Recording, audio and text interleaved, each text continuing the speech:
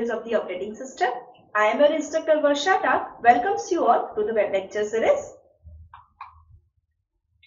So at the end of this video, you will be able to learn about the monitor. Till now, we have seen the different mechanisms to uh, get the ent uh, entry in the critical section and to achieve the mutual exclusion. Okay, so we have seen the uh, semaphore and different that like a lock and set variable, disabling interrupt. So this is the another uh, mechanism that uh, using this monitor we can uh, get the entry in the critical section and we can achieve the mutual exclusion. So let's see what is monitor.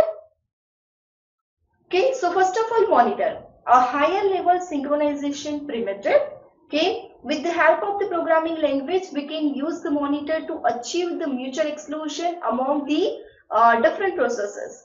Uh, what is the monitor? How we can define it? A monitor is a collection of procedures. We can define the numbers of procedures in the monitor, uh, variables and the data structure that all are grouped together in a special kind of module package and that module package is known as the monitor okay so process may call the procedures in a monitor uh, whenever they want to enter get the entry in the critical section but they cannot directly access the monitor's internal data structure from the procedures uh, declared outside the monitor. So we cannot get the directly access to the procedures that is defined in the monitor. How we are able to achieve uh, how we are able to access that procedure that we will see later on in this lecture Okay. Monitors have an important property. For achieving the mutual exclusion, only one process can be active in a monitor at an instant. Okay, so uh, this satisfied the, our solutions for the critical section that at a time only one process can get entered in the critical section. So also monitor have the same property. So we can use this mechanism to achieve the mutual exclusion in the critical section. When a process calls a monitor procedure, the first few instructions of the procedure will uh, check to see if any other process is currently active within the monitor or not. So that uh, uh, that check will, uh, will done every time. If so, the calling process will be suspended. So if so, if any other process is there in the critical section, the calling process will be suspended until and unless uh, it will get chance to enter in the critical section. So other process has until and unless the other process leaves the monitor. If no any other process is using the monitor, the calling process may get entry in the critical section. Okay, so examples of monitors are the Java synchronized method such as Java uh, uh, offers the notify. Okay, uh, Java offers notifies and await constructs. Uh, so these are the examples of the monitor Now which are the characteristics of the monitor? Okay, so first characteristics is what inside the monitor we can only execute the one process at a time. So this is the one of the most uh, that property of the monitor so that uh, we can use uh, to achieve the mutual exclusion in the critical section. Monitors are the group of the procedures and the condition variables that are merged together in a special kind of module. Okay, so this is another characteristics. Third is what? If the process is running outside the monitor, then it cannot be uh, cannot access the monitor's internal variable. Okay, so if process is running outside, it cannot achieve, uh, uh, get access to the internal variables that is defined in the monitor. But a process can call the procedures of the monitor. But we can call the uh, procedures of the monitor to achieve the desired task that is defined in that particular uh, that particular procedure. Okay. Fourth one is what monitor uh, offer a high level of synchronizations. So high level of synchronization is there in the monitors. Monitors were derived to simplify the complexity of the synchronizations problem. And last characteristics is what there is only one process that can be active at a time inside the monitor. Okay, so those are the characteristics of the monitor. Now, uh, there are four main component of the monitor. Which are these four main component of the monitor? First one is the initialization, then second is the private data, then monitor procedure and then monitor entry queue. Okay, so when we are implementing the monitor package, that means when we are implementing the code that will define that monitor package, we should have to uh, declare such type of portion, initialization, private data, monitor procedures and monitor entry queue. Okay, let's see it one by one. So here you can see uh, this is the initialization. First is initialization. So initialization comprise the code and uh, when the monitors are created, we use this code exactly once. Once uh, when the uh, monitor package is created, we uh, use this uh, code exactly once. So once we have to initialize everything. The next one is what? The private data.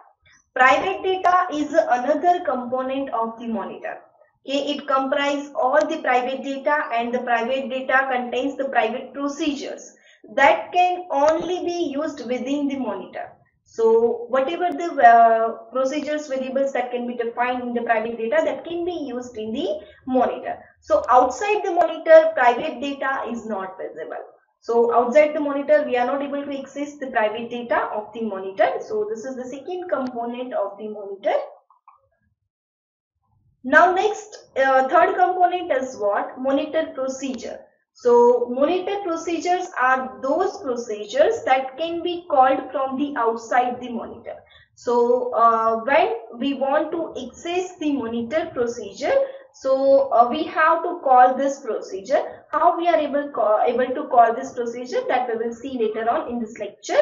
So we can call this monitor procedure. So we can perform uh, the desired function using the uh, desired task using this monitor procedure. Then next is what? The moni monitor entry queue. Okay, so monitor entry queue is another essential component of the monitor that includes all the threads which are uh, called the procedures. Okay, so there are the four component of the monitor now here you can see this is the syntax of the monitor. So monitor demo, that is the name of the monitor. Then you have to define the variables, condition variables you have to define. Then these are the procedures, that is procedure P1, procedure P2 that we can get, uh, uh, we can access uh, from the outside the monitor. Now, uh, basically there are two conditions variables. So there are two types of operations that we can perform on the condition variables uh, of the monitor. Which two type of uh, operation? That is wait and signal. Now all of you know where about, uh, all of you were about this wait and signal that is like lock and unlock. Okay, so wait and signal. So suppose there are two conditions variable that is condition A and condition B. So uh, this uh, we are declaring the two variable that is condition A and B now here for the wait operations, what we will write a dot wait. A dot wait that means the process that performs the wait operations on the condition variables are suspended and uh, locate the suspended process in a block queue of that condition variable. Okay, so A dot wait that means what the process will be blocked process will be suspended until and unless there is another process in the execution. So till that time this process will be blocked. Next is what the signal operation. So here a dot signal. So if a signal operation is performed by the process on a condition variable then the chance is provided to one of the blocked process okay? So a dot signal that means what we are giving a signal to the any other process. That means we are giving a chance to the any other process so that that process can get entry in the critical section. So these two operations uh, will be performed a dot wait and a dot signal. Okay? Uh, now here we will see the producer consumer problem using the monitor okay? Uh, we have seen the producer consumer problem using the semaphore also. So um, you uh, have the better idea about the what is the producer consumer problem. So what is the producer consumer problem? Producer will produce the thing consumer will consume the things. Okay?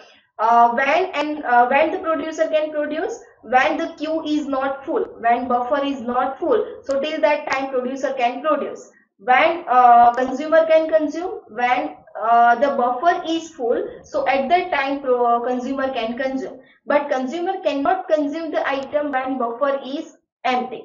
Okay all of you are aware about this concept of the producer consume consumer. Okay so we are uh, implementing the same algorithm same problem that is a producer consumer problem using the monitor right now. It can be asked in exam like uh, uh, implement the producer consumer problem using the monitor. So at that time you have to explain with the monitor. And if it is asked explain the producer consumer problem with the semaphore then you have to explain the producer consumer problem using the semaphore. Okay? So here uh, let's see uh, this producer consumer problem using the monitor so here the name of uh, monitor module, so that why that's why it is a keyword monitor, and then we have given it a name as a producer consumer. So this is our the monitor package name that is a producer consumer. Uh, here we are using the two condition variable that is a condition full and empty. Okay, and next we will see uh, next we uh, we are defining the another variable that is the integer count. Now we are defining the two uh, procedure that one procedure is what? Procedure insert. Okay procedure insert that means we are uh, inserting the item. So here item integer is that here the begin. So that means it starts uh, uh, this uh, procedure. So if count is equal to n then wait.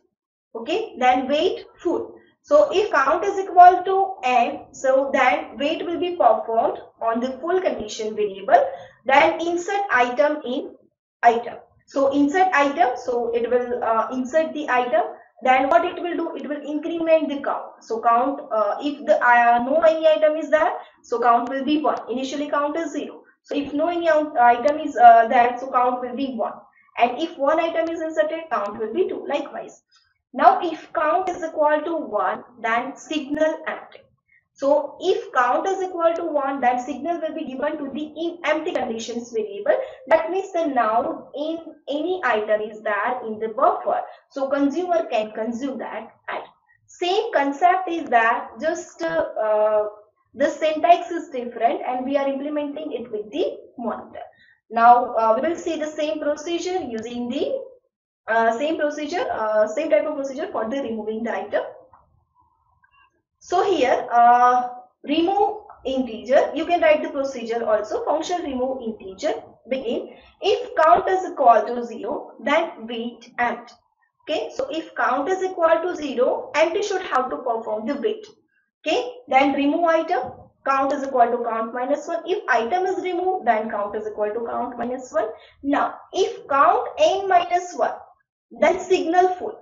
So count is n minus 1, that means if consumer is consuming the any item, then it will be consumed from the buffer. Now buffer is free. Uh, in buffer, one slot is free.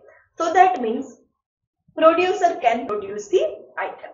And uh, and at last count is equal to 0 and uh, this is the end of the monitor. Okay, so in monitor we are uh, initializing two conditions variable and we are implementing two procedures. That is a remove item and uh, one is a insert item. Okay so how we are able to access this item in our uh, program? Let's see. So produce the producer that is a procedure produce procedure begin while true then do item is equal to produce item. So producer will produce the item. So producer consumer insert item. So here you can see we are uh, using our package name and we are accessing the uh, insert function insert procedures from that. So it will call this procedure. Okay that we have seen in the monitor. So it will call this procedure procedure insert. Uh, so if again count is equal to n uh, wait full otherwise uh, if wait full and after that it will insert the item. Count is equal to count plus 1 and if count is equal to 1 then signal empty. So it will call this function and end. So this is the end of the one uh, procedure and procedure consumer what it will do? It will start while the consumer want to consume so while true do Again, uh, remove item is equal to what? Producer consumer, that is our package name and it will call the remove procedure from the monitor. So it will call this procedure that we have learned uh, function remove item. So if uh, count is equal to 0 then it should have to wait. Uh, if count is not 0 it will remove the item then it will uh, decrement the count and if count is equal to n minus 1 it will signal the full. Okay, so this is the uh, uh, producer consumer problem using the monitor.